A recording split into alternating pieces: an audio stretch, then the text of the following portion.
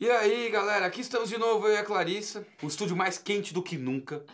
Literalmente, tá um calor absurdo aqui dentro.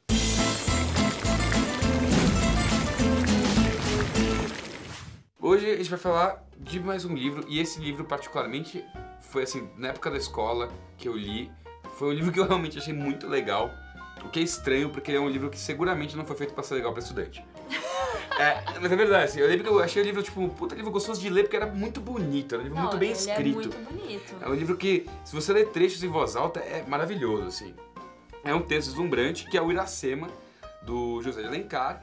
E, cara, é um livro muito inicial, assim.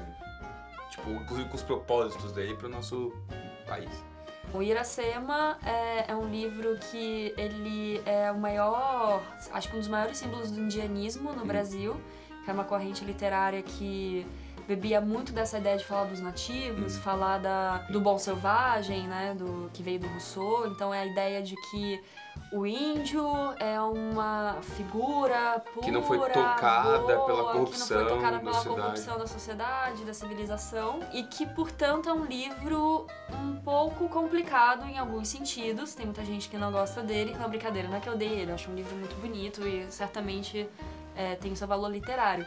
Mas que é, mostra uma visão muito romantizada, e, portanto é um livro do romantismo, né? Então, é o é o romantismo indianista, assim, é extremamente romantizado em todos os preceitos mínimos que precisa ser, assim. É. É impressionante o quão romântico é o livro. Exatamente. E assim, conta a história do Martim, que é um colonizador português que chega no Brasil e se apaixona por Iracema, que é, faz parte de uma tribo indígena, e eles se apaixonam, mas não podem ficar juntos, até que eles resolvem fugir. E tem um filho, só que o Martim, enfim, tem que Retornar pra Portugal. retornar para Portugal. E quando ele volta, Iracema é, apresenta o filho a ele e morre. E a ideia do livro, eu acho, assim, é, pelo menos aqui a gente mais aprende na escola, é, É de você encontro. ver o encontro entre a civilização colonizadora e a civilização nativa e como as duas vão formar o Brasil. E ambas, não só o índio, mas também o colonizador português, é posto de uma maneira extremamente romantizada. Então, assim, não é um Virgem livro... dos lábios de mel, É, assim, o herói em o- português. Todos os personagens, tanto a Iracema quanto o Martim, são heróis. É, no sentido de que são personagens bons, de boas intenções. E são bandeiras, né? Eles não são, São, bandeiras. pessoas com individualidades Exatamente, assim, eles são tipos, né? psicológicos. de uma não, não, não há profundidade psicológica em nenhum dos personagens. É, eles são símbolos dessas duas raízes né, que vão que vão formar o Brasil. E assim, você não vai ver um debate sobre a violência da colonização, sobre é, As chacinas dos indígenas. chacina dos indígenas, você não vai ver nada disso, você não vai ver o colonizador português que estupra as Sim, índias. você não vai entender que tem muitas diferentes grupos indígenas. Não, existe um índio que é tipo como se fosse a América inteira. É. Era um índio apenas. Exatamente. Fala a mesma língua.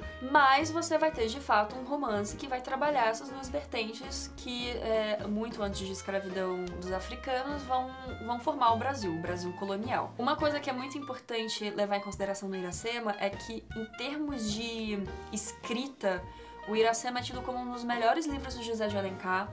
Ele tem marca de oralidade, é, então assim, ele tem uma coisa que é muito interessante de que os, os personagens, por exemplo, a Iracema tem estruturas de fala e palavras que vêm de um certo estudo de línguas indígenas, então o significado nem sempre é tão claro, é, o que é bom, porque é, deixa algo pro leitor também, Sim. pro leitor contribuir. É, e é assim, é um livro que ele dá uma impressão de ser algo muito parrudo, sabe? De ser algo é, que não é algo feito de qualquer jeito, sabe? É um livro que você vê que tem esmero. É, é, um- é é lírico, assim. é ele- extremamente ele, ele- lírico. tanto é que tem pessoas que vão dizer que é uma poesia em prosa, né? Qual é o propósito da Iracema, né? É um pouco o que o Virgílio fez da Eneida, que é fazer um romance de formação. de formação, de pátria. Que é Ele fez Eneida, de uma Sim. certa maneira, a Ilíada e a Odisseia vão ser pros Os gregos, gregos, também, né? Aquele livro que tenta, de uma certa maneira, Uhum. criar uma mitologia de formação. E, Inclusive, muitas pessoas apontam como Iracema foi literalmente um- um- um- uma mitologia que o José de Alencar teria criado para explicar a criação do Ceará. porque quando a É, Iracema morre, morre, ela sim. é enterrada perto de um coqueiro que ela gostava muito, Uhum. de uma árvore que ela gostava muito e que ali nesse território que você teria a criação do Ceará. Então assim, existe uma coisa que eu acho que é muito típica dos escritores do, do 19, que é falar do Brasil em formação, seja o Brasil pós-república, seja é, mais um Brasil que está, de, alguma- de alguma maneira, pensando suas raízes, pensando sua formação, que faz Sim. o Brasil o Brasil, né? É, assim, é uma coisa que não acaba, tá? Tipo, você vai ver isso em outros momentos, você vai ver isso numa Conaíma no futuro, só que de uma forma moderna, né? Então, poxa, é, é até uma tiração de sarro, faz uma certa paródia com, a- com o primeiro filho do Brasil, né? Que em vez de ser um povo tão heróico, um povo que tem preguiça. É... Então, tipo, a questão da identidade nacional é uma coisa muito interessante, porque você pega em Roma, por exemplo, voltando pra analogia com, com o. Virgília, é. Você tinha um povo que já tinha uma identidade, já tinha uma história da formação de Roma, já existia. Entretanto, eles tinham aquelas raízes greco-romanas que eles queriam trazer para aprofundar e enraizar nos valores deles, e eles utilizaram uma continuação da, da Odisseia para tal. É, não, e É também da- você tinha dois mitos diferentes também Uhum. na Eneida, que era o mito um do Enéas, né, que seria um, um guerreiro da Guerra de Troia, e você tinha também a questão do Rômulo e Remo, e aí Sim, o Virgílio tenta Unificação dos unificar. clãs. E de uma certa maneira, o José de Alencar tenta fazer isso unificando uma, digamos assim, identidade indígena com uma identidade portuguesa. Sim. Só que existe um problema, existe uma grande diferença nisso, né? Porque o que. Enquanto você tem na, no Virgílio uma sociedade que se conversa e que foi constituída no mesmo espaço, o que você tem na, no Iracema é uma sociedade que vem de encontrar outra, só que esta outra é descrita como era a primeira. Portanto, você tem é, o índio construído sob a mitologia de Éden do cristão. Não, com certeza. Você Você, tem vê o- o Brasil, você lembra. Sim. Tanto é que uma das mitologias do Brasil, que muitas pessoas acham que o nome do Brasil teria vindo do pau-brasil. Só que o nome do pau-brasil. Da Terra Brasil. Terra Brasilis, que seria uma mitologia, eu não sei se de, de alguns povos A gente é, faz da exata Europa. Brasil, a gente tem um vídeo nosso da formação do Brasil, que o link tá aqui, que a gente fala exatamente disso aí. E aí vocês podem ver o vídeo e ver se eu tô falando besteira. Assim, não, você tá falando, você tá E falando correto. que teria essa mitologia europeia de que teria uma terra em que eu lembro quando eu aprendi isso na escola que seria um Éden no um paraíso na Sim. terra e que você teria nativas com três tetas, umas coisas assim muito loucas.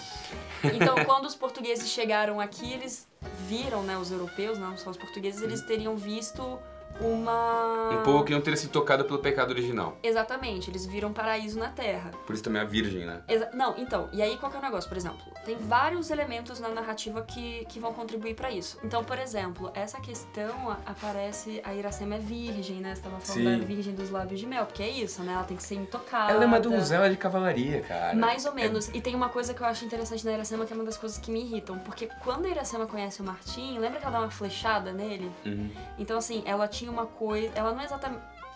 Existe uma, uma mudança da Iracema que me irrita um pouco. Porque no início do romance ela, tem, ela dá a flechada, ela leva ele. Ela parece ser uma personagem muito mais heróica do que ela acaba sendo depois que ela se apaixona pelo Martim.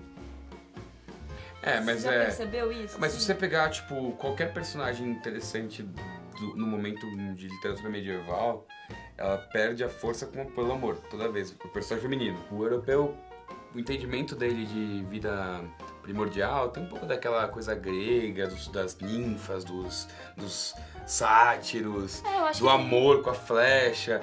Então talvez a figura da flechada dela não seja pra mim uma. Não, mas de qualquer apenas maneira, agressão você... até. Tudo bem, não tô dizendo que seja Sim. de agressão, mas você tem uma personagem que tem uma atitude, digamos assim, mais ativa Sim. e depois quando ela se apaixona, ela de É. repente só vive pela paixão. É, outra coisa que é interessante é o fato de que o filho deles seria justamente essa junção, né? Dessas duas tradições, vamos dizer Uhum. assim, que é a do colonizador e o que seria o nativo pro José de Alencar. É, então o filho dele seria, o filho dele seria na verdade justamente esse primeiro brasileiro, né, digamos assim, assim, essa coisa do, do, do que vai ser o brasileiro. E uma outra coisa também interessante do Martim é porque em um dado momento ele tem que voltar para Portugal e ele tem uma série de conflitos porque ele larga a terra dele e aí no início ele tava entre a Iracema e a tal da casta dos cabelos loiros lá, uma outra mulher que ele deixou. Ele acaba voltando para Portugal em um dado momento e eles ficam bastante tempo separados por causa disso, que vai fazer com que a Iracema fique triste E, e por É, isso acaba vem a com a vida morrer, dela, né? acaba com a vida dela. Mas você também tem essa figura desse colonizador que ainda tá ligado à terra, né? Ainda tá ligado à sua tradição, ainda tá ligado a Portugal, mas que de alguma maneira faz uma transição pro Brasil, né? Então, assim, o Martim também não é um, um colonizador que veio pra cá, esqueceu tudo e ficou É, pra trás. é que também assim, a brisa do colonizador é que. Por que, que a figura do Martim é uma figura tão forte e é uma figura que está diante de decisões? Porque uma das coisas que os portugueses tinham claramente, você vê anotado assim, nos documentos deles, é que para eles o Brasil era uma terra que não tinha ordem, não tinha religião, não tinha rei, e que a partir do momento que eles entraram em contato com essa terra, se tornou uma missão de caráter religioso, assim como as cruzadas, você trazer para essa terra essas coisas e, e civilizar ela da maneira correta diante de um povo extremamente católico, que era o povo português.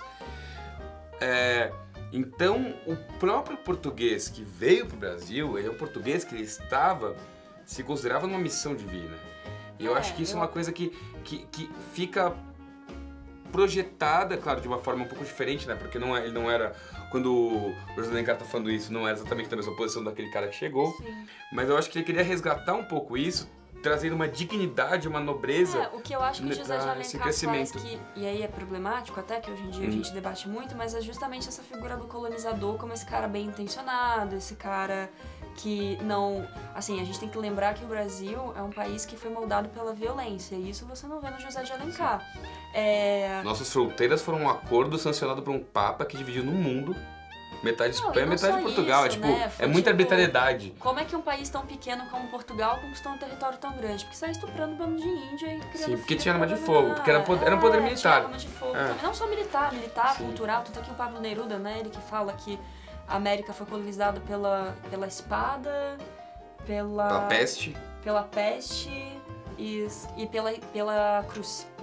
É isso. Porque é isso. É, o, as pessoas que achavam que índio não tinha que ser escravo eram as pessoas que queriam catequizar índio pra ele virar. pra deixar de ser É, demônio, né? Mas essa questão religiosa eu não lembro o quão forte ela é em Iracema. Não, não Eu- senti eu- ela muito iracema. Ela não tá muito em Iracema. Eu acho que o que aparece mesmo em Iracema é essa coisa de romantizar o, o Brasil, o nascimento do Brasil e criar uma mitologia que não serve só pro Ceará, serve pro Brasil inteiro, que é uma mitologia de formação. E lembrando também, se eu não me engano, mas a- a- em outros em outros vídeos a Tatiane falou muito sobre isso, que o José de Alencar seria um escravo, escravo, escravocrata. Mas enfim, ele não era um cara, por exemplo, com uma. que. ah, bom, se bem que, por exemplo, o Lucila é uma outra coisa que é mais interessante, mas é, que não vai problematizar nas obras como o Machado vai. Sim. É, Novamente, porque o José Alencar, ele era tipo muito. Ele era um cara privilegiado socialmente, coisa que o Machado tinha mais perspectiva, vamos colocar dessa forma. Ah, uma outra história de vida. Uma outra história também, de né? vida. Apesar de que eles eram melhores amigos, É. uma vez na escola eu li uma fofoca Sim. de que achavam que, Que- a inspiração do Escobar do Dom Casmurro era o José de Alencar. É mesmo? Que era melhor amigo do Machado Sim. e ele tinha mulher, cara. Ah, o Machado, o Machado, é- o Machado é fofoca, inclusive, tá? concedeu. Acho, que foi, eu acho que foi o Machado que concedeu pro José Alencar um lugar na Academia Brasileira de Letras. Mas enfim, Eles mas eram brothers. apesar de tudo isso, Iracema é um livro é, primordial em termos de, de escrita. É outro livro também que cai muito em vestibular. É muito importante fazer a ligação com o indianismo, com o romantismo, pegar as características do romantismo e ver como elas aparecem no Iracema, no Martim, no tipo de amor que eles têm, nos outros personagens. É, e apesar das problematizações todas, entender que é, foi um livro escrito no século XIX sobre a formação do Brasil Sim. e a FUVEST está cheia de livros Do século é, do XIX. século XIX que estão tentando, de alguma maneira, falar sobre Sim. a sociedade brasileira e o, e o que faz o Brasil o Brasil. O Iracema é um livro muito importante, não deixem de ler. E cara, é mó fininho. Não, na moral, é suave, vai. É livro de bolso, velho.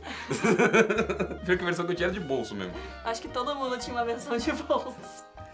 Bom, é isso, galera. Ó, se vocês gostaram desse vídeo, se vocês gostam da Clarice, nos avise, dê o joinha, manda mensagem, pergunta as porra toda. E, cara, é, se você tiver uma sugestão de roteiro, alguma coisa que você se interessa, que você manja muito, pode mandar pro contato, arroba canalrevisão.com.br. E se você quiser nos ajudar de outra forma, um pouco mais direta, a gente tem um crowdfunding que é o apoia.se barra canal Revisão. A ajuda parece pequena, mas faz toda a diferença pra gente. E... E é isso, né? É isso. Espero que vocês tenham gostado. Tchau, É gente. nóis, falou.